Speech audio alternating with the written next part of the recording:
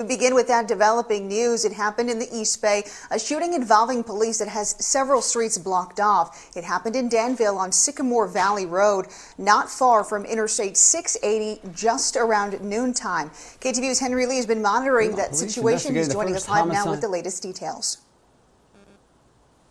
Well, Christina, we're still trying to figure out what led up to the shooting and the condition of the man who was shot, but this did happen minutes after many people called police to say that a man was throwing rocks at cars on the freeway. A man was shot and wounded by Danville police during a confrontation at a busy street corner. It happened just after noon near Sycamore Valley Road and Camino Ramon. Minutes before the shooting, police responded to calls that a man was throwing rocks at cars on 680 from the overpass. It was not clear what led up to the shooting. The man who was shot was taken to John Muir Medical Center in Walnut Creek. Police have not said whether the injured man was in fact the one reportedly throwing rocks at cars. But law enforcement is well aware of the dangers. Officers have responded to several reports of objects being thrown at cars in Contra Costa County over the past year.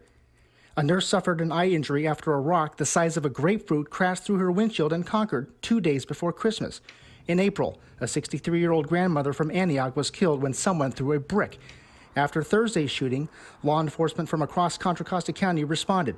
Danville police are part of the sheriff's office.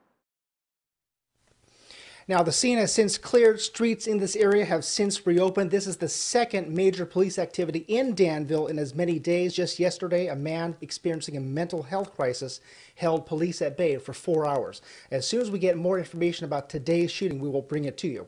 Reporting live, Henry Lee, KTVU, Fox 2 News. Henry, thank you.